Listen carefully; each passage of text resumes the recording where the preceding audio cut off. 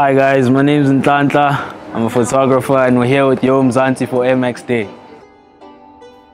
So my favorite Air Max sneaker is the Air Max 1 and as you can see today I brought my Air Max 1 Royals, yes.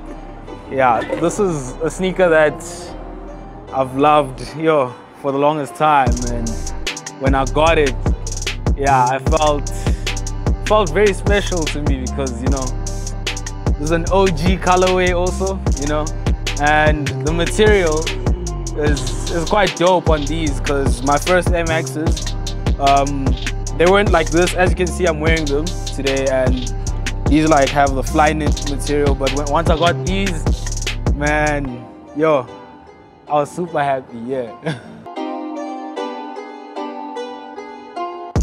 I'm really excited to see what Nike has um, in store for us this year because in the previous years they've had some crazy releases and you know even like I said when I first saw these shoes releasing in, in 2017 I was very amped for that Air Max day. And now I just want to see what they have in store for us. And Air Max day has been something that is very big on the internet but to also see it um, like growing in size and like the actual physical day, like um, Nike having exhibitions and stuff is it's a very special thing to me. So I'm really anticipating to see what Nike has in store for us. And yeah, that's why I, yeah, I'm, I'm really in love with Air Max Day.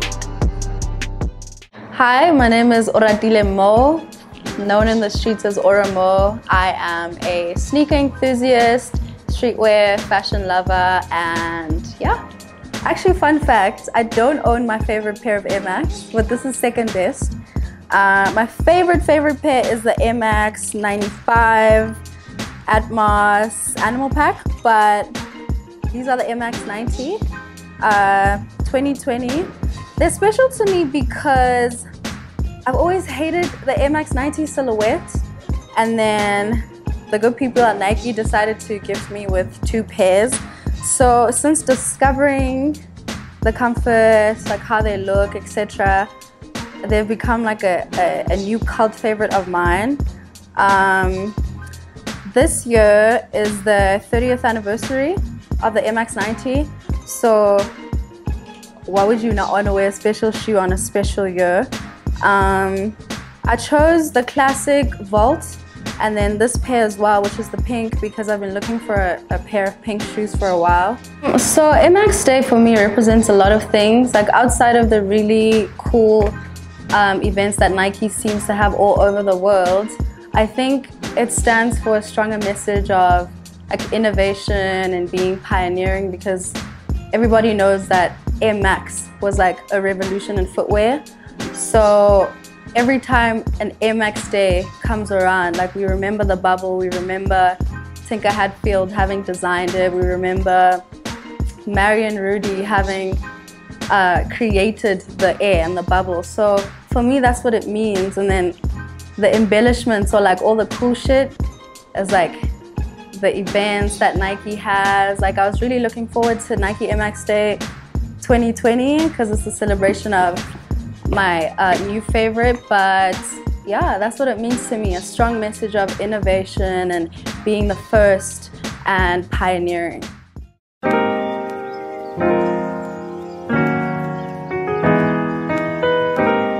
Everyone knows me as Kato Tuli. Uh, I'm a, I collect sneakers because that's my passion. My favorite uh, Air Max is actually this Air Max 2 Atmos. The reason why I love it is it has all different colors. I'm a person that loves color, even though I love only wearing black clothing. But uh, definitely this year, different swooshes and stuff as you can see there as well. I bought the sneaker last year. I bought it on Nike.com. It wasn't very difficult to cop at all, so I'm glad I got it because it's something that I really like as well.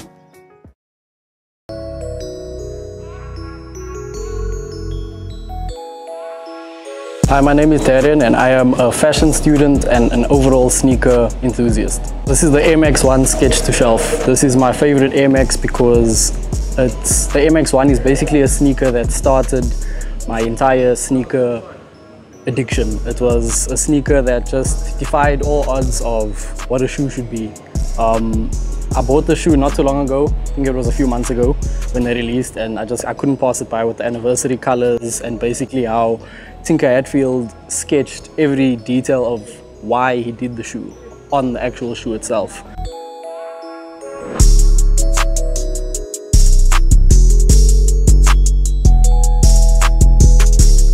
Hi, my name is Zoe Monta. I am a youth advocate, a model, and so many other great things. I love sneakers, especially with formal wear.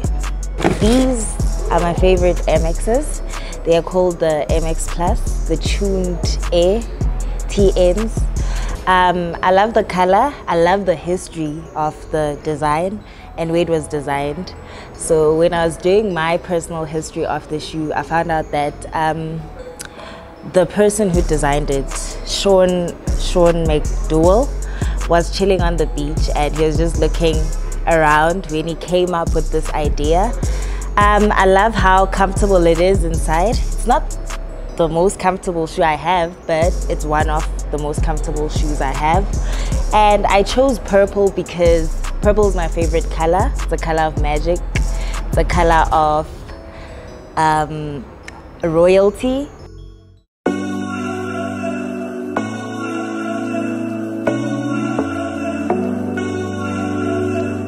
My name is Riyad Isma. I'm a sneaker fanatic and designer. Air Max Day is really important to me uh, as it celebrates one of the greatest pioneers in the sneaker industry, Tinker Hatfield. Uh, it's just a celebration about him for me personally and then also uh, celebrates Air Max which is more than one silhouette which caters to all walks of life. If you don't like one silhouette, you're more than likely to like one of the other many silhouettes, many colorways. Uh, my favorite memory of Air Max Day, although it didn't happen in SA, in New York City in 2018. Uh, Sean Wotherspoon's release of his 97 when they rode around in a minibus or taxi as we call it, uh, just handing out cards uh, as a way to get access to the sneaker. I think that was really cool and yeah, Tinker Hatfield, Sketch to Shelf. Uh, really important pair to me because Tinker Hatfield is one of my biggest role models and inspirations. This is his first real work for Nike as far as sneakers are concerned. Uh, it illustrates his actual sketch uh, and outlines what went into it, the big window, the bubble, the pattern split, the color palette. Uh, I love the suede material on it. I love that uh, it's from the original sketch. So if you notice on a normal Air Max 1, there's a panel missing right here. Uh, it has his signature at the back on the other, the other foot. Uh, it's just really sick, man.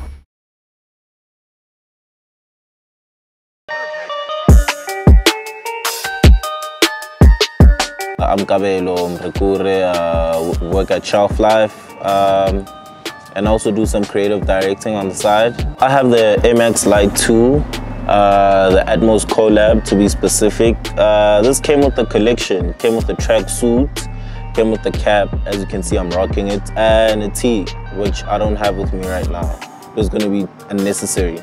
But anyway, uh, it wasn't hard getting the shoe actually. It was sitting on shelves. It dropped uh, early last year, but then people weren't really into it. So at Shelf Life, it only arrived late, if I'm not mistaken, like maybe four months after the drop. And it also came with the collection. So it just sat on shelves and I thought I should get it because I was looking at I was looking on the web every day and looking at the shoe thinking that we are gonna get it when it drops, but we didn't. And then when it came to us, it was just chilling, and I still got it anyway because it was what I wanted. And I always get what I want. Air Max Day will always be Air Max Day to me, so I always have an Air Max in my collection. Not for that day, but just for what Air Max is to me. Not to all of us, but just to me. You always need to have an Air Max in your collection. That's just my point of view. And yeah, man, I just wish Nike would also jump on the events again just to bring it up. So it's 90, it's what? The Air Max 90 is celebrating this year, but I don't know, man. Nobody seems amped about it. So yeah, that's just me.